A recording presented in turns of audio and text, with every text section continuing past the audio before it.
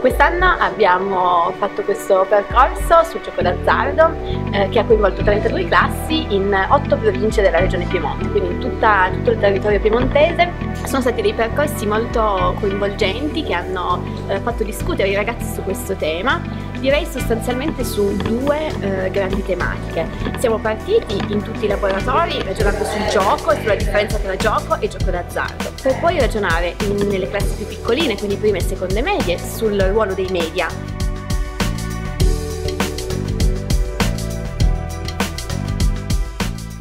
Abbiamo cercato di eh, stimolare la loro attenzione con un meccanismo contrario a quello del marketing, cioè a fare contromarketing in un certo senso, cioè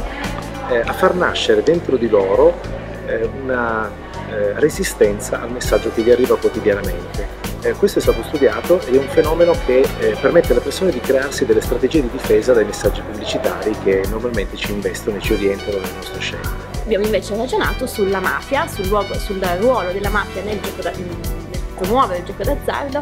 Il gioco d'azzardo negli ultimi anni ha avuto una vera e propria crescita esponenziale, in particolare dal 2000 al 2011 è un mercato che è cresciuto tantissimo. Questo, l'aumento delle possibilità di gioco legale ha anche dato la possibilità di aumentare il gioco illegale. Quindi le mafie hanno aggredito il mercato del gioco d'azzardo. L'obiettivo ultimo chiaramente è quello di sensibilizzare i ragazzi e far capire che eh, anche il gioco d'azzardo può essere uno strumento dell'illegalità e soprattutto che eh, non è attraverso il gioco d'azzardo che si può costruire un futuro diverso, un futuro migliore per la propria vita. È fondamentale già rendere i ragazzi